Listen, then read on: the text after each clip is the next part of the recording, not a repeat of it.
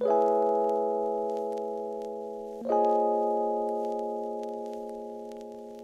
welcome back to my channel. So, today's video is going to be pretty chill. I got new makeup recently, most of which I haven't tried, and so I'm going to be trying it because I've had quite a few people, not like quite a few, I've had people ask on several occasions if I could do um, like how I do my makeup or do a makeup tutorial, and I'm going to. Also, I'm coming down with something. I'm like kind of sick right now, so excuse the occasional sniffling. Um, I've already washed my face, and so we are just gonna get right into it. And while I'm doing it, I'm just gonna be talking about life and things because I wouldn't know what else to talk about. So, um, we're starting with primer. I got this new one from Touch in Sol. I think it's a K Beauty brand. Um, it's the Icy Sherbet Primer, silicone free and cooling effect. Oh, I like that packaging. It's like that weird kind of like frosted plastic. I don't know. Anyway, it's got a strong scent. It's very perfumey, and look at the consistency. It's like weird. It's like weird looking. Cool. Okay. So, you might have noticed my background is different. It's because I'm filming at my dining room, or in my dining room, at my dining room table, because I had this background, or not, I, I didn't have it put up. I put it up for my Halloween party, and I figured I could get some extra use out of it before I cleaned up from the party and put all my decorations away and stuff, but I'm lazy, so I'm probably gonna keep it for longer, like till after Halloween, because honestly, it's not even November yet. What's the rush? I can keep it up for a little bit longer. Because it's honestly a cool background, and I'm probably gonna, I might put the sparkly things up in the office, maybe? I don't know, but it's definitely, it's, it's very much a beauty guru background. Also, sorry, I guess I should be reviewing these it's like thick, but it feels really good. Like it makes my skin feel super smooth, which is good. So this is like focusing on like blurring or like pore covering or something. My pores look blurred up in this area. I like I don't have bad skin or anything, but I do have like I don't have acne, but I do have some texture and some pretty big pores, particularly in this area, but like it doesn't look too bad. So that's cool. Um, I'm assuming I need to let this dry a little bit. I'm definitely feeling the cooling technique or cooling effect, whatever. Next thing is I didn't want like I don't do foundation. Whenever I do my makeup, I always just do concealer under my dark circles but I've recently wanted to do like more face products because I don't really like how drastic it looks between my concealer and like the natural redness of my cheeks. But I don't really like heavy foundation stuff and I don't really know how to use that. So I found this. It's from Smashbox. It's the Smashbox Halo Healthy Glow All-in-One Tinted Moisturizer and it has like SPF in it. Can you focus? Yeah. And I got it in the shade Fair. Um, looks like that. This week is gonna suck because I'm like getting more and more sick. I look shiny. Like, I like it though. It's like kind of like the dewy look. I kind of fuck with it. Okay, anyway, I don't know how much. Okay, hold on, we have to shake it first.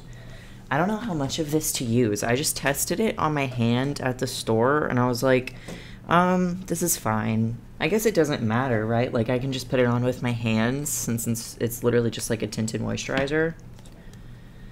Let's find out. So it looks like that. It's like, oh. Hi. Okay. It looks like that. It looks like not the right shade, but once it like gets onto the skin and like blends in, it is okay. You need you need to sit and chill, or you need to like move. You can't just you can't just come up in the space. Should I have used my hands or should I use a blender? Does it even matter? Let's talk about life a little bit. because I've been thinking about what I want to do with my life because I'm not quitting YouTube anytime soon. Like, it's not in the agenda at all. But I've been thinking about it recently, and like, I don't know if I want to be pushing 40 still talking about internet drama, but I wouldn't mind still being a YouTuber. And I know that, like, I guess if I were still wanting to do YouTube at that age, it would depend. I'm gonna use my beauty blender now.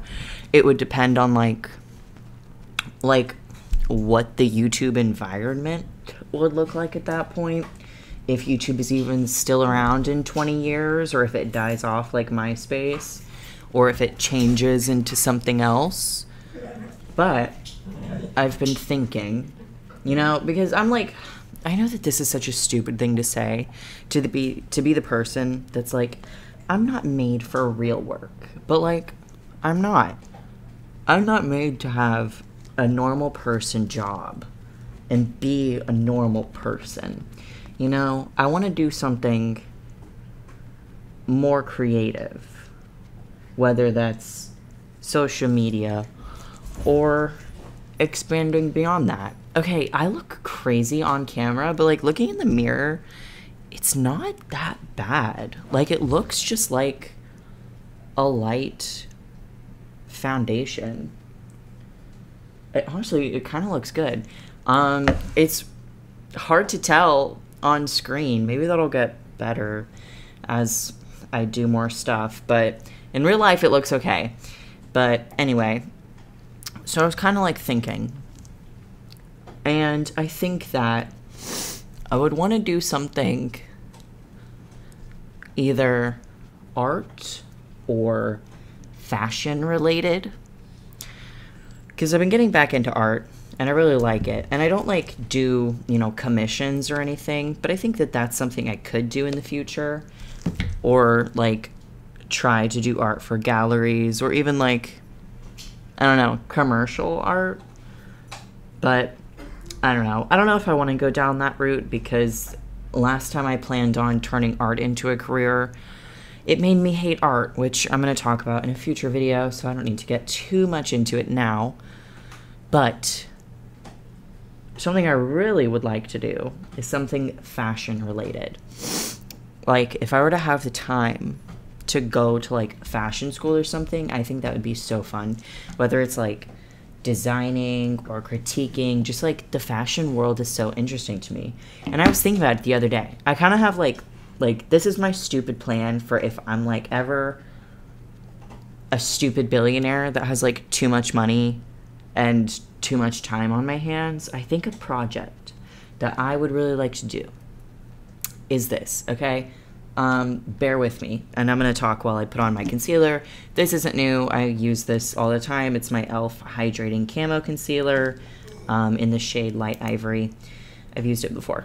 It's my go to. Anyway, so something I think will be very cool is a clothing brand for big, like broad dogs, like bully breeds in particular.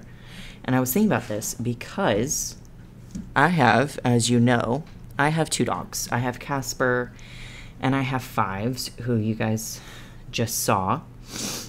Now, Casper is a Husky Pyrenees, and Fives is like a pit bull, American Bulldog type of mix. And they're both very big, but they're big in different ways. Like, Casper is. He's like 65 pounds and he's tall and he's he's not like skinny, but he's skinnier than fives. And fives is like fucking 85, 90 pounds.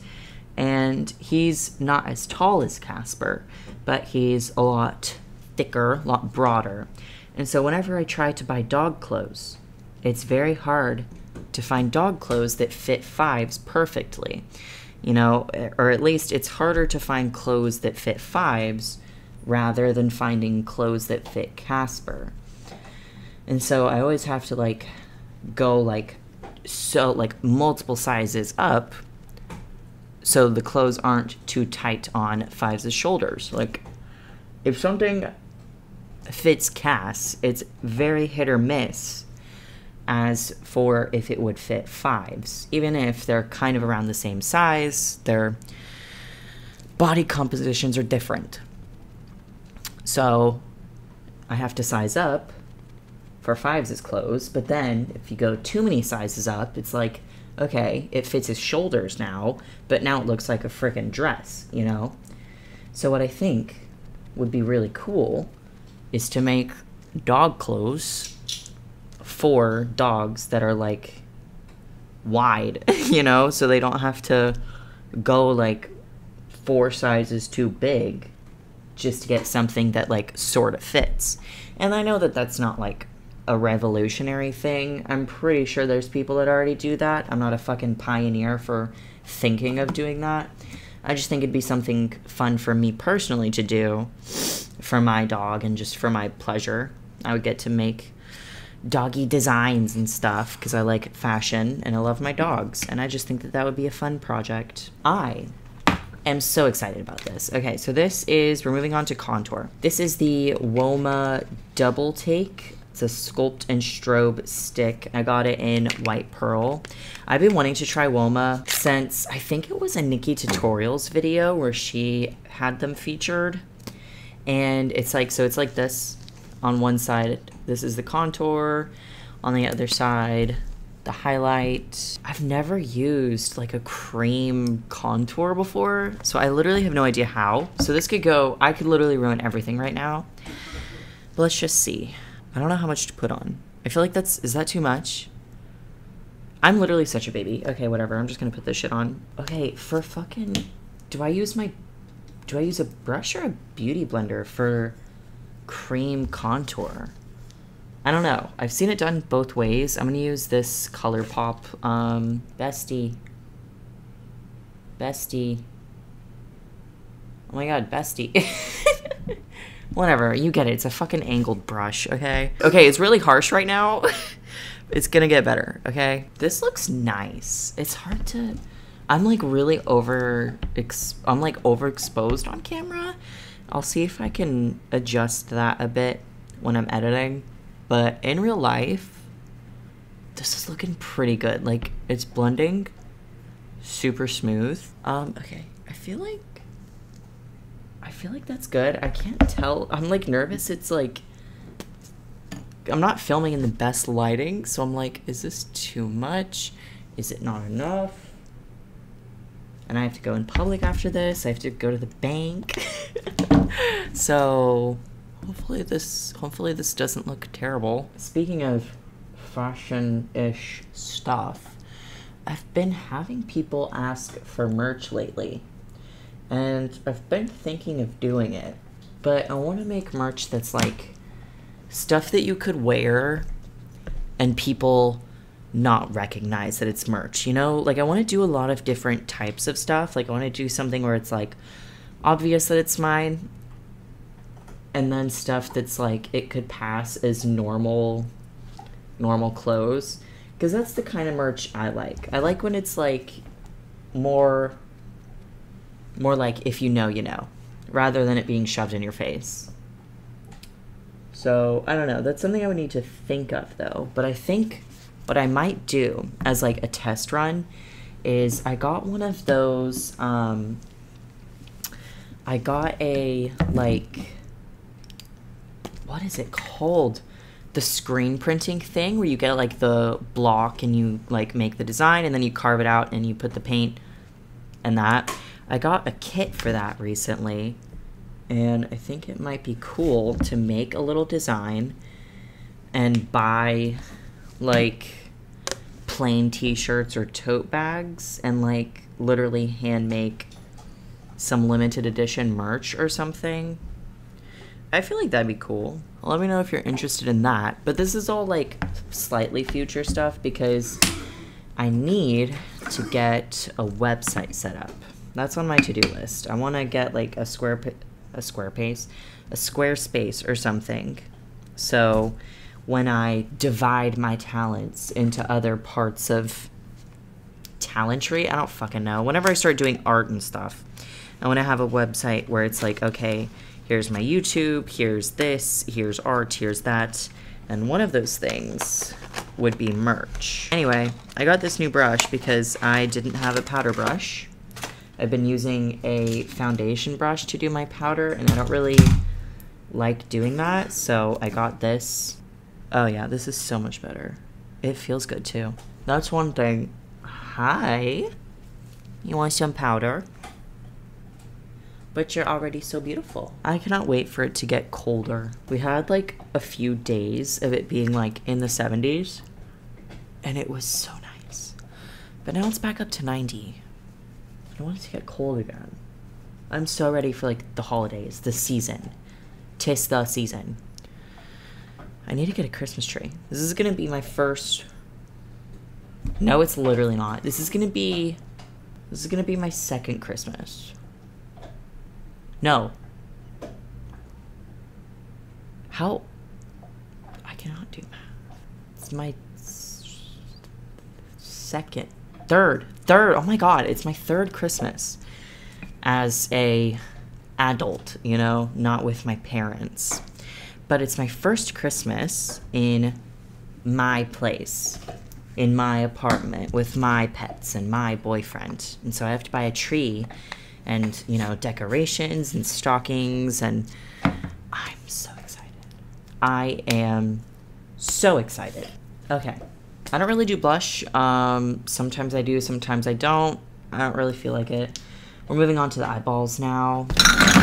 I want to do kind of like a smoky winged eyeliner, but like with eyeshadow, but I want it to be kind of like vampire so it's like black and then it fades into a red, you know? That's the vision. Keep up. Anyway, so I don't know why I said so. I don't have anything to say. I'm just excited for the holidays. Oh, sorry, my palette. This is not a new palette. I haven't gotten myself a new eyeshadow palette in a while.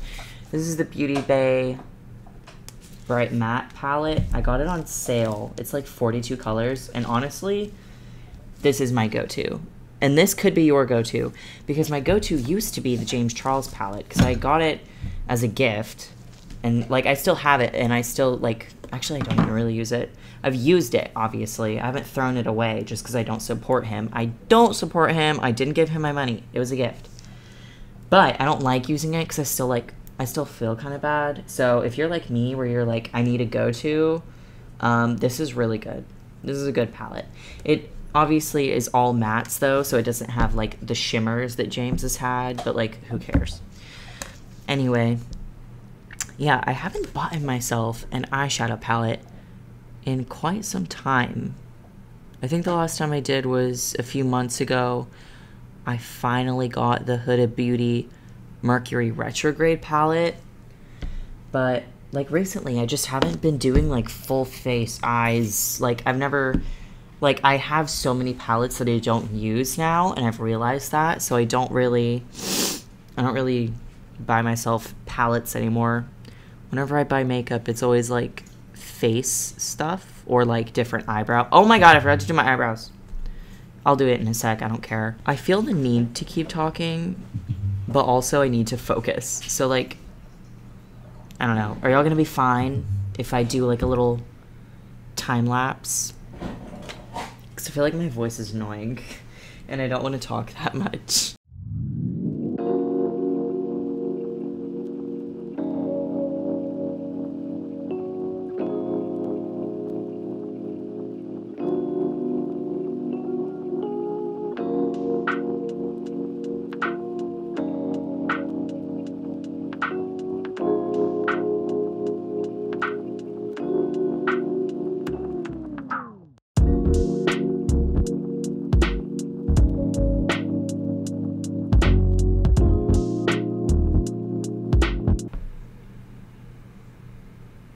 Take pictures because the camera angle is not doing it justice, but my mirror is doing it justice.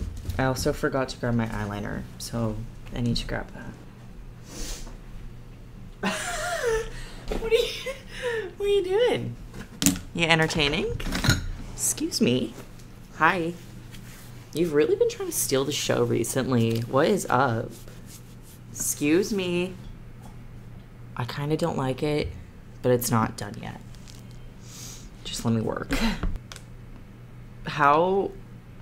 Bro. Oh my god, how did I mess this eye up so bad? no. It looks so bad. I. It looks so bad. I will say. I usually, like, before, like, usually just doing my makeup, I would have pretty bad creasing under my eyes. And it's pretty smooth.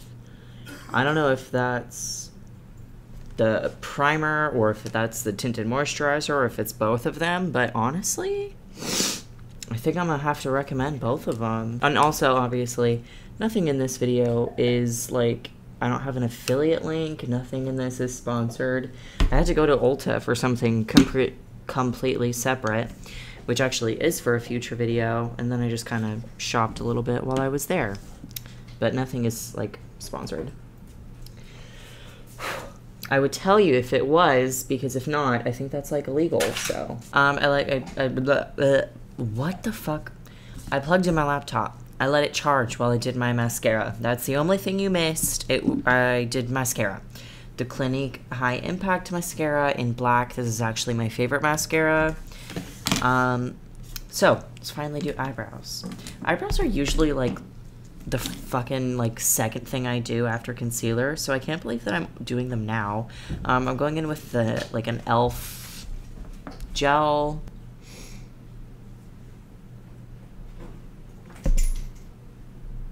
Am I just having a bad makeup day? Like, what the fuck is going on? The day I film a fucking makeup video is the day everything is like, you know, let's actually not look good. Okay, then I go in with uh, the CoverGirl Easy Breezy Brow. It's the, like, marker thing. I know I didn't let it focus. I don't care. It's a marker. You get the idea and I just go in and fill in like empty spots. Okay, I'm afraid that this is as good as they're gonna get. They aren't very great, but it's fine. I'm tired. We're doing highlighter next. I use the ColourPop Super Shock Cheek in Flexitarian. It looks like that. Final thing is lips. I have two new things to try. I've already tried this. This is a Clinique gloss. I have this Clinique lips lipstick. I don't know if I want to try it though. I also don't even know if I want to try this gloss. I feel like that's like gonna make it too dark. Should I just do like a regular gloss? Let's see. What if we do just like a little bit of this? Okay, that's not bad. Um, the lighting is so terrible. I don't know what's going on with my camera because in real life it's like not god awful. I'll take pictures and like put them on the screen so you can get the full effect. Um, this is the final look.